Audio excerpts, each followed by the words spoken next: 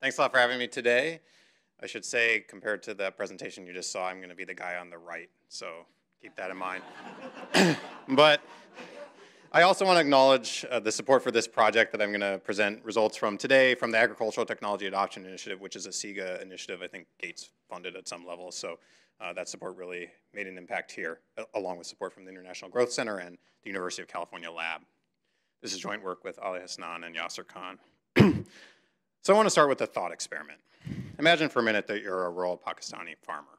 You probably live on a couple of dollars a day, and you rely in a large part on your livestock for your livelihood.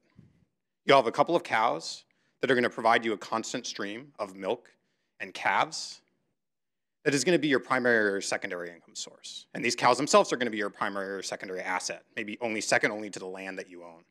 So this is a, a big part of your livelihood. Now imagine you wake up one morning and your cow is in heat, right? You're not going to have a bull at home because it's not worth it to keep a bull that doesn't produce milk or calves. So you're going to rely on a government or a private agent to provide you with artificial insemination. But you have a problem. How do you choose a vet for AI? That, and a vet that's going to both be high quality and put the right effort into task to make sure your cow is, has the highest likelihood of getting impregnated. If this were the US, we'd all just pull out our smartphones, go on Yelp, Angie's List, Google, name your, name your platform, and we'd look for ratings and we'd find the best vet in our area and contact them. This is exactly what we brought to rural Punjab, Pakistan. An information clearinghouse that crowdsourced the collection of information on performance of government veterinarians to the citizens they were providing services to, aggregated this information automatically and continuously, and then provided this information back to these same consumers. Now, the reason this picture doesn't look very pretty is because all of this was built on dumb phones. This is a population in rural Pakistan, in rural Punjab, that's mainly illiterate, and smartphone penetration is very low. So we did this all built around a call center where we had real life agents having very short phone mm-hmm. call conversations with farmers to collect and transmit information. so what was the motivation for this? Other than the fact that this type of technolog technological innovation is taking off across the developing world, part of it was, or the sort of the main motivation was a, a basic economic motivation, which is asymmetric information. The fact that farmers don't know how much effort their government or other veterinarians are putting into their job because they can't observe it very well, they don't have the expertise, or they literally are not going to be there to see how good of a job people are doing. And this is going to lead to suboptimal outcomes. So we can think of a lot of examples across the developing world of this type of asymmetric information problem. So in the private markets, we can think of these sort of farm gate middlemen and women who exploit the fact that farmers don't know prices in the local market to capture rents when buying and selling crops. Or in, in the government, service providers, we can think about corruption, leakage, and shirking, and sort of these outcomes that arise when folks are not being monitored. And as I just said, one solution to this is actually monitoring. It's collecting information and providing that to those who are lacking it. But monitoring can be particularly costly in development, developing studies. This is not just because of infrastructural costs. It's expensive to send an auditor or a monitor out to rural Punjab, but also because of political economic costs. There's going to be people that want to see the status quo uh, stay the way that it is. So crowdsourcing can make monitoring cost effective. Not only because now you don't have to send a person out to collect information, you just have to get someone to answer the phone, but also because now you can spread out the, information collection across a large number of people and maybe eliminate some of the information bottlenecks that give particular players power in, in terms of what information makes it to whom. so this is what we did. By creating a novel information clearinghouse to monitor the performance of government veterinarians in rural Punjab, Pakistan, in the district of Sahiwal, for those who know Punjab. What exactly did this clearinghouse do? So it started by measuring effort in an important sector, government with veterinarians. I already motivated it from the household perspective. From the provincial or the national perspective, it's an extremely important sector and growing in importance. It's about 12% of the GDP of Punjab and it's growing in share. So it's not just important for households, it's important for growth of the country as a whole. And so we started by measuring effort of these government veterinarians through our crowdsource platform. And then we aggregate this information by asking individual farmers questions continuously and automatically to create veterinarian rankings. And then disseminate this information back to the farmers. This last step we did as a randomized controlled trial. So some farmers at random got this information, some farmers at random didn't. And so we can compare subsequent outcomes for these individuals and understand the impact of this or the value of this information that we're generating through this system. And I, I, make the point here that we gave this information to farmers, not superiors, because a lot of the work that's been done with these types of e-monitoring types of platforms, including my own past work in Pakistan, has very much been built within the existing bureaucracy. Whereas for, in this case, we were sort of taking the short route of accountability to give information directly to the consumers and the citizens in this case, rather than relying on some sort of electoral accountability mechanism. And importantly, too, using GPS, we were able to disseminate ratings of local veterinarians to farmers. So we're not gonna have to give them the list of every vet in their district. We can tell them the ones that are nearby and that are potentially they could go to for their services. And what do we do when we, what do we find when we give this information out? Has a large impact on subsequent performance of vets. So farmers that have information on the ratings of their local veterinarian subsequently see a 27% increase in the likelihood that their cows become pregnant the first shot. And this is a large and meaningful increase because this means more milk sooner, more calves sooner for the, for the sort of life cycle of that cow. Interestingly, we find that this, the way that this result comes about is not from farmers switching to the better vet, which is what we expected. They actually stick with their same vet, but they just demand higher quality services from those vets.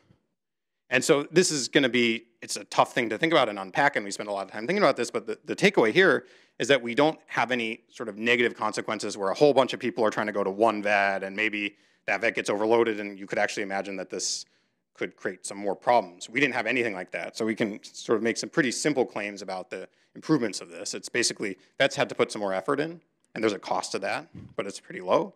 And farmers saw a large increase in sort of real life economic and social outcomes because of this. So let me talk just a little bit about what information we gave out and how. So specifically, farmers that were treated with information or farmers are treated information on the top three veterinarians within three kilometers of their village in terms of just average AI success rate between cows and buffaloes, which is another important breed in this setting. For each of these veterinarians, they were given information on the average AI success rate, the average price charged by this veterinarian. So this is a setting where vets are allowed to charge a price to show up because they have to travel to farms, and the number of observations that went into these two averages. And so you, these are akin to the same three pieces of information you'd see in most rating platforms if you go look uh, for a, a local business or service provider. And we gave this information out in a very short phone call over the phone and then sent one SMS follow-up to individuals with these same nine, nine, data points. That was it. And this is essentially all the information this platform was collecting to begin with. So we weren't collecting a ton of information because collecting information, we had to talk to people, we had to engage with people, and we wanted them to answer the phone and want to talk to us. So we kept that short, and then we kept the, the information provision component short as well. And uh, for, at least for us, that was very effective. So I already previewed the result. Here it is in a picture. So this is just comparing the effect, the average AI success rates over time for farmers that were given this information in blue and those that weren't in red. Prior to October 2014, no one was given information. And as soon as we started giving this out, across the remainder of our project, those farmers saw higher AI success rates by a large amount. So if we take this and we put it in dollar terms, we can, we can sort of estimate the value of an increased stream of, stream of calves to these households by sort of just assuming for the life cycle of your cow, now you're gonna get milk a little sooner and the next calf a little sooner, and that's gonna snowball the next time the cow becomes pregnant, et cetera. So it's a real value to this household. In expected income terms is about $32, the magnitude of our effect, because cows are quite valuable in the market in Pakistan. The cost to reaching each of these farmers was eight bucks, including all the fixed costs of developing this system, which were essentially all of the costs. The marginal cost of each phone call was pennies. So, you know, when we think about scaling this up, costs will decrease dramatically. And we can think about scaling this not just across the livestock department and, or the livestock sector in all of, of Pakistan, but into any other sector where people will answer the phone and give us information and listen to us when we want to give them information. now, since sort of the theme of this and, and to try to help with the thinking through how this would connect to other ideas we're all thinking about in the audience, I want to talk about what I think drove our success in this setting. Why, what was particularly different or, or important about this? So of course, I'm going to start with saying that we crowdsource data collection. Uh, it's very, it would be very ex expensive and the cost benefit analysis would not have been on our side if we had done this with in-person monitoring or auditors, definitely. So that's just a pre, it's a requirement for this type of, uh, of impact. But there's an, some additional keys. One, I already belabored this, but I want to say it one more time. We kept our information collection and transmission short and simple. So I, I've seen a lot of people working in the space these days and they're really excited about how much information they can collect and transmit and all of this stuff you can do. And I think there's a lot of value in that, but you can overwhelm people, especially when you're talking about rural households that have a lot on their minds. There's some good work in this area, and you know, in, in, economics, saying that these folks are have a hard time just making decisions. So you imagine giving too much information could be a challenge, and, and we we did the opposite here, and we piloted it extensively to figure that out. this also connects to some research Michael Callen and, and co-authors and I did in, previously in Pakistan where we show that keeping the information we transmit to senior health officials within the bureaucracy in Punjab also affects how they act on that information. So kind of a similar story emerges even when looking at decision making at a very high level within the government. Another key is that the information here was objective. What do I mean by that? Everyone kind of agrees what it means for a cow to be pregnant and what it looks like. And so you don't have people disagreeing with what the average success rate of a, of a veterinarian is. They can all understand that. And I think that's an important idea. We were collecting subjective information. It was much less valuable in this context. So I think anytime we're thinking about trying to rate people and, and collect information about them, we should be thinking about how we might be able to collect some more objective measures or measures that people will trust and, and be able to compare across individuals. And that's tricky. this is important too. This was a setting where vets had an incentive to care about customers. It was weak because they're probably not going to get fired from their jobs, and a large part of their salary is fixed, but they're also making a little money each time they provide AI. And so they'd rather do a better job than lose a customer. And you need that. And in a lot of settings where government employees are making nothing on the margin per transaction, maybe you need to think about building some incentives in along with an intervention like this. And we've seen that this is a, a way that can be impactful. and it's also important and this touches on some of the initial comments we had, that there was a lot of room for vets to improve here. So it would have been really frustrating if we started rating vets and they didn't have the skills or the abilities to do a better job. We knew that wasn't the case, but there's a lot of settings where that might not be as, as clear cut. That's something to think about. And lastly, this we spent a lot of money, actually, the majority of the money we spent on this project was to verify, make this last bullet point, which is to verify that all the data that came into us was sort of reported accurately and there weren't any differences in, in, selection margins along who was treated and not and sort of only unhappy farmers answering the phone that would have been a problem for understanding true vet ratings. So we didn't have that in this case and that was just a little bit of luck more than that we designed this. But i think going forward you need to think about designing checks onto the quality of your data into any of these administrative systems because just because people are giving you data and they're excited to give you data doesn't mean it's going to be good data and you can make a lot of bad decisions with that. And I think there's a lot of exciting ways thinking about machine learning and we'll hear about that later today to try to catch the bad data before um, these systems do anything with them and try to do some targeted audits.